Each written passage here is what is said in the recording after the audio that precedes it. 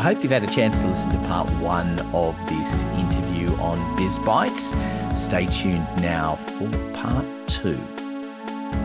Welcome to Biz Bites, brought to you by Com Together helping businesses like yours build their brand through telling amazing stories to engage and grow audiences on multiple platforms. It, tell me how it began for you. Where where did this uh, idea of firstly becoming a mechanic come? Was that something that started in in school? Was it did it come from you know dad or someone? Where did it where did it come from?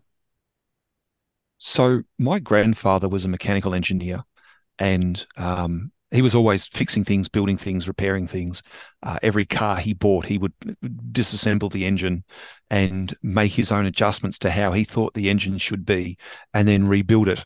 Um, and my dad was always part of that, hanging around his dad, my grandfather, uh, and so cars and mechanical things were were, were pretty natural. Um, I was certainly the kid that had all the broken toys growing up because I knew how to take them apart, but I couldn't get them back together very successfully. Um, there was a there was an, an opportunity um, at school to do work experience, and I had a choice between the carpentry workshop and a mechanical workshop, and uh, I took the mechanical workshop because it seemed like a good idea at the time. Uh, it it was really that that thin the the the thinking between the two, um, and I loved it. I, I, I pardon the expression, but I fell uh, butt backwards into a bed of roses. That was just absolutely my thing. I'd never had so much fun. I'd never had so much joy working with my hands, um, like greasy from the, the tip of my head to the soles of my feet. Like my mum was horrified at what she had to try and clean off all the clothes that I was wearing. Like I just about had to get a new washing machine. It was that bad. But I was the proverbial pig in mud, absolutely. Uh, and I've loved it ever since.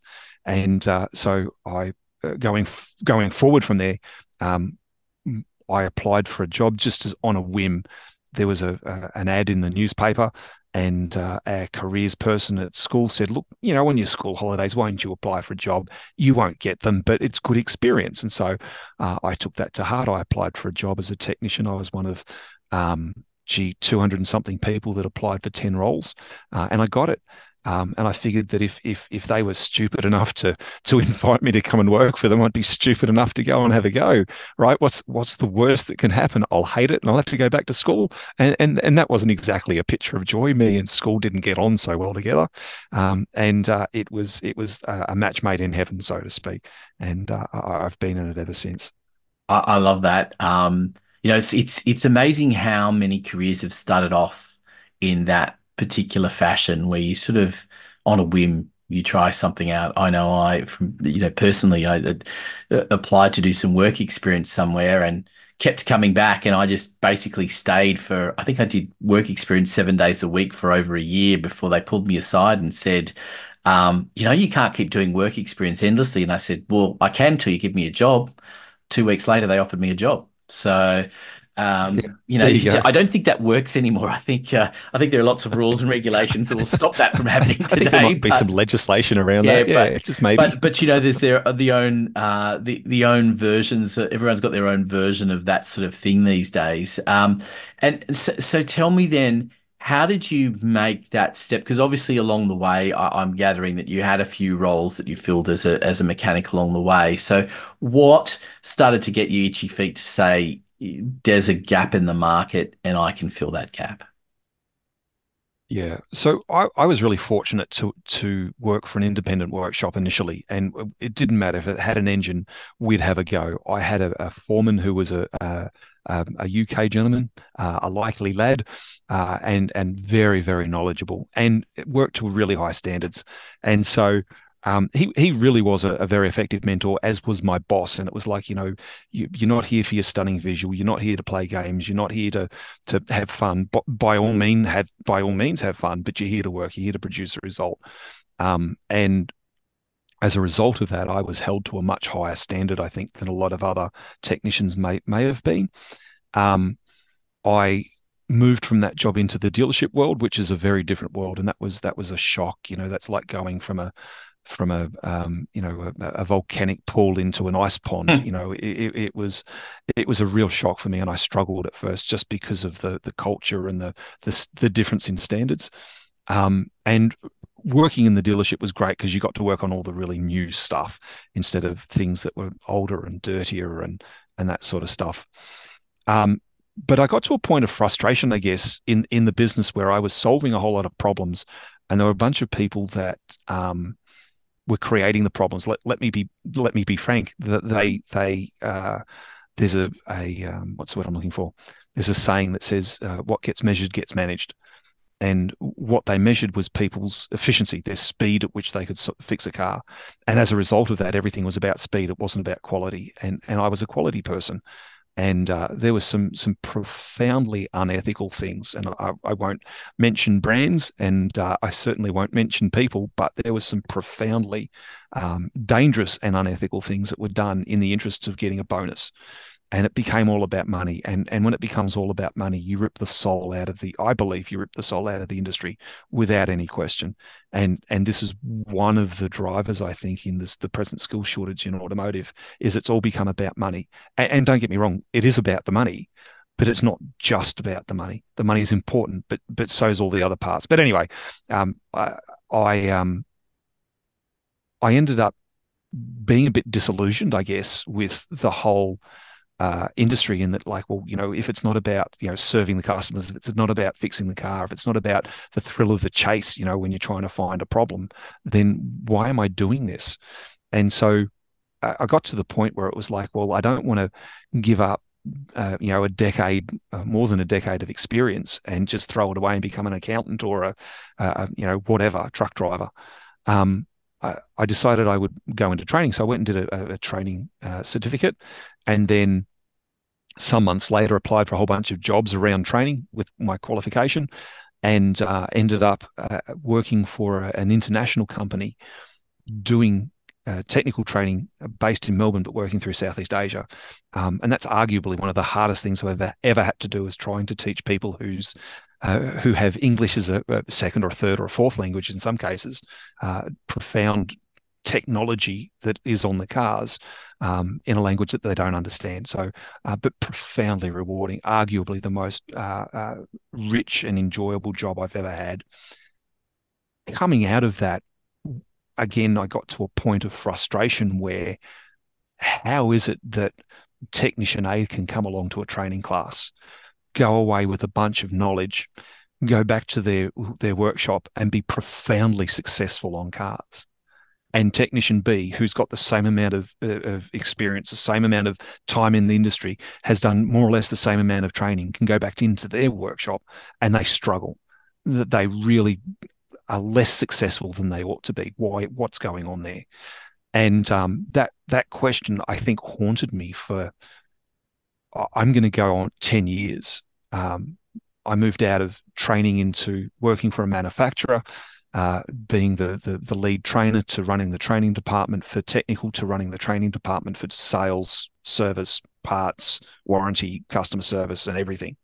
And that question still haunted me. How is it that Tech A can be successful and Tech B can't when the differences between the two are, are negligible, if any?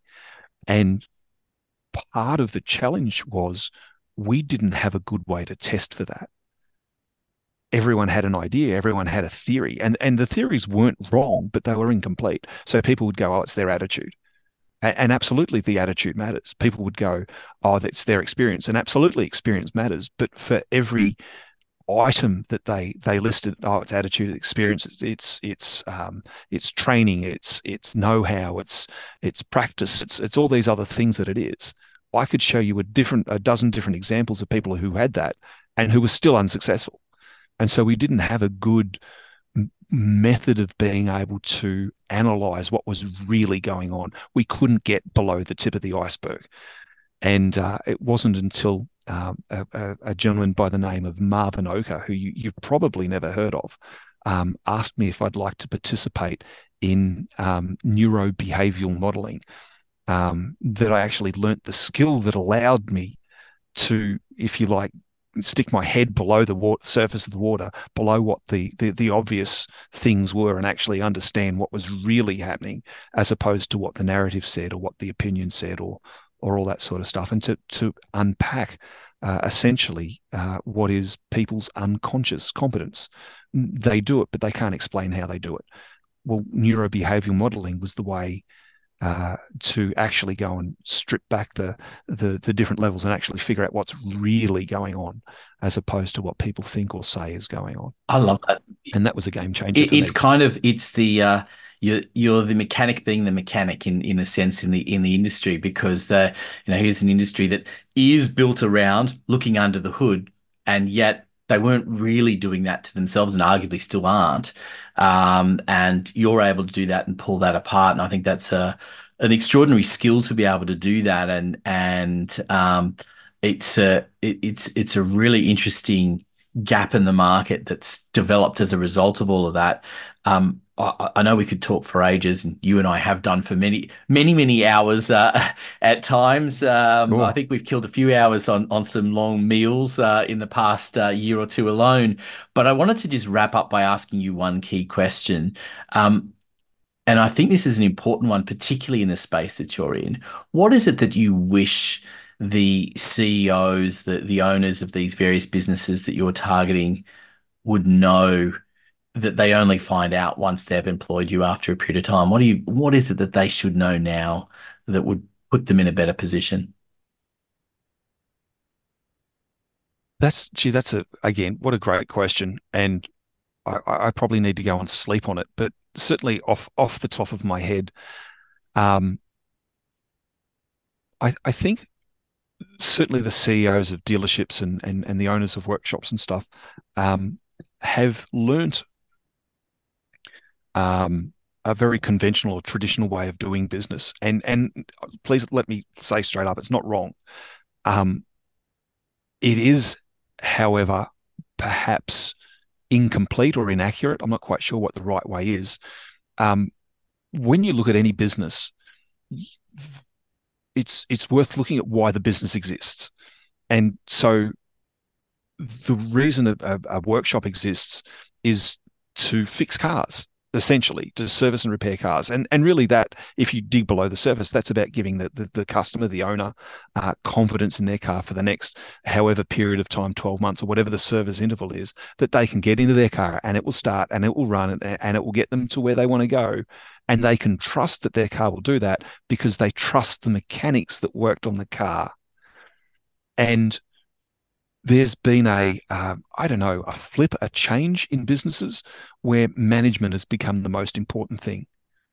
And it's like no the business doesn't exist for management and it doesn't exist for customer service. The business exists to fix cars which makes the technician the most important person in the business. Like the most important person of the business. You vanish technicians out of a workshop what have you got? No one's going to bring their car to you for great workshop management no one's going to bring their car to you for excellent customer service because if the car's not working or it needs servicing, customer service isn't going to solve that problem. It's the skill and the ability of the technician uh, that's the difference that makes the difference in the business. And, and so, if that's true, and this is what CEOs should know, if that's true, anything they can do to resource, to reward, or to recognize their technicians to help them become engaged, to help them develop, uh, is going to be uh, a, a, huge step towards massively improving their bottom line and towards keeping the technicians and keeping the skills in their business. And so the business should be flipped instead of management is the pinnacle. No, no, no, technicians at the pinnacle. Uh, and that's an entirely different way. Yeah, absolutely. I, and it's so um, endlessly fascinating to me because what you say is so true, and yet it's so little is done about it and recognized. And it's it's often that I think we've all experienced going to getting our car serviced, and we're just another another car running through a you know and yep, and and yep. there's no there's very little engagement um i um, had my car serviced a few months ago and at a different dealership to where I norm- normally had in the past because I've moved. And I found the experience was really different and interesting because whilst they may not have gone to the full extent of which you're talking about, they did build the level of trust by um, keeping you informed during the during the process. Because I, I, you know, rewind a few years ago where I had a, um, a you know, a well-established brand car and you know came to the end and said that'll be X amount, and I went, but you did all these things. How, how do I even know? Like, I have no idea if you actually did them, and I didn't even know I wanted them or needed them. And yeah, to to the other extent, where this this point was, well, this is where we're up to in the process. Now, it's kind of like the the the um the the Domino's model, um, where you know you've ordered your pizza. And they're showing you photographs of the pizza being made, and this is your pizza coming along the way, and you get to track it with your, you know, Uber Eats or whoever it is that's driving it to your door. Yep. Um, and because there's a level of trust that's being built up along the way, and particularly at, at least with a pizza, we all understand what goes into a pizza and what, you know, what's going to make the pizza look good and and hopefully taste good. But when it comes to, Taste good. Yeah, when it comes to a car, we have no idea. We know when it works, we know when it's not working. Um, but that's usually about Yep. the extent of it. And, and I'm going to argue this is why you want technicians who really care about what they do working on the car, because for them it's not about um, it's not about the money. They'll take the money, don't get me wrong. And and can I say they're worth the money without question? But for them, it's the passion. It's I I get to solve this customer's concern. I get to work on cool technology. I get to do something that matters, that makes a difference in people's lives. Because if you've ever not had a car because it's broken down, you'll understand just how much uh, we rely on them. Like, what do you do when you don't have a car? Yeah, I- it's So, it's you know, I absolutely I I know how much um you know certainly our family relies on on the car that we have and uh, it's critical that it runs effectively and efficiently and um you know there's an expectation that it will. Our understanding of it of what's going on under the hood is almost zero and I and I have to laugh when you go on a uh you know a chat um you know there are various groups that I'm sure most cars um have for their particular model of car.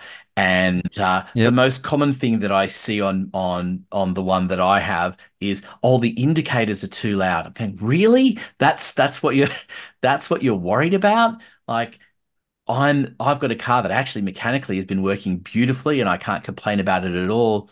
The indicators are a little bit loud, as you say. There's millions of rows of code. Could they potentially fix it? Maybe. Is it high on the priority list of making that car run smoothly? No. And and I think people undervalue and underestimate what goes into making sure that this, you know, piece of equipment that we use day in, day out works and works properly. yeah. Yeah, Henry Ford once said um, that that cars were the greatest machine known to man, uh, and I'm going to argue he's still right today. You know, like what what we couldn't do um, without cars. You know, we think about transport, we think about all the things that rely on that. Uh, underpinning all that is some really good people, some really clever people, um, and and some of them are more engaged than others, with, without question. Um, but it's certainly our vision to see technicians uh, recognised and rewarded uh, and respected for the skill that they bring to the industry and just the impact that that has on on people's day to day lives. Never mind the, the the bigger economy and all those sorts of things. You know, I, I was talking with a, a, colleague the other day, and we were comparing war stories, um, and he made the statement. He goes, you know, I reckon I've saved more lives than the average ER doctor. And I said, What do you mean? And he said, For the number of cars that I have found uh, potentially life threatening issues with over my career, and he'd been in the industry about the same amount of time that I have. He says it would it would be in the tens of thousands of of uh, of issues that he's gone. Hey, look, if you don't get this fixed, it'll kill you. And they had the customer had no idea. And with respect, the customer shouldn't be expected to know that. Like that's that's the that's why you get your car service. That's the whole reason behind it. So I just thought that that was a very interesting distinction um, that he saw himself as someone who saved people's lives, and it's true. Absolutely. And I and I think there's a lot of lessons that people in all sorts of businesses can learn from this discussion because we all have our versions of mechanics in each of our own industries. Sure. And um and and sometimes they are literally lifesavers. Other times, you know, the the it may not be a lifesaver in the true sense of what um particular um businesses do but nonetheless can be super critical in playing a role in the importance of what Oh, happens in someone's day-to-day life. Um, you know, a pen, you know, getting a pen right and having that ball on the pen working correctly so that the ink's flowing through it uh, is important in the efficiency of running a business on a day-to-day basis. It may not be a life-threatening issue because Um, it's not in that realm, but it's nonetheless extremely important in making sure something is running effectively on a day to day basis. And I think we can underestimate the value that each of our businesses plays in people's lives. Mm. And uh, I think it's an important lesson to really value that technical expertise, upskilling it and maintaining it, and realizing that that is the gold that separates one business from the next. Yeah, absolutely. Uh, show me a business that doesn't want engaged people. Uh, show me a business that doesn't want to retain you know quality skills in the business. I mean, that's the difference that makes the between a, a profitable business and a and a business that struggles, right? Absolutely, Andrew we better end it there, or we're going to keep talking through about five episodes of of uh, of the podcast. Uh, but I hope everyone's enjoyed it, and I really thank you so much for for for your time uh, with this. And I, I, I really enjoyed the insights into what is an incredibly complex industry that probably most of us don't think all that much about. Yeah, look, Anthony, I'm very grateful for the opportunity to just be on the podcast and to, to, to share some of the stuff that we've come across. Uh, it's, it's been an absolute uh, an absolute win. Thank you. And everyone, stay tuned, of course, for the next episode of Biz Bites. Biz Bites is brought to you by Com Together for all your marketing needs, so you can build your brand, engage audiences on multiple platforms. Go to comtogether.com.au follow the links to book an appointment for a free consultation.